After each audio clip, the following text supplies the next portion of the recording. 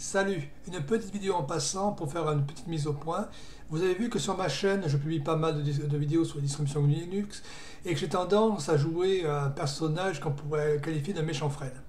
C'est un personnage que j'aime bien, c'est un peu le personnage comme le personnage de Dark Flow de Florence Porcel, que je vous conseille d'ailleurs, que je mettrai le lien dans le descriptif. C'est une simple remarque par rapport à l'utilisation des pouces rouges, des pouces bleus. Personnellement, je n'en ai strictement rien à carrer, rien à battre, ou je m'en contrebats les testicules sur le rythme de, sur le rythme euh, de Highway to Hell en accéléré, des pouces négatifs. Ça, personnellement, je m'en contrefous complètement. Je ne touche pas le moindre centime de mes vidéos sur YouTube. Pas le moindre. Donc, que vous mettiez des pouces rouges et pouces bleus, j'en ai rien à faire.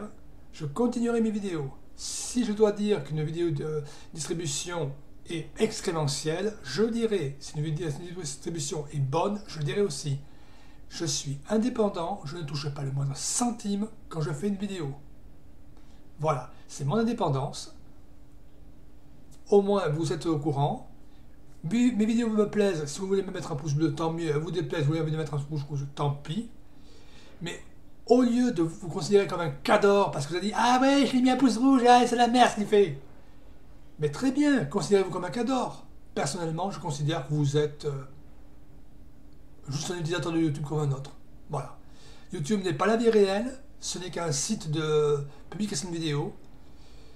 Donc il faut peut-être savoir, euh, avoir, savoir raison garder. Et voilà, c'était la petite vidéo que je voulais faire pour faire une mise au point. Allez, salut à la prochaine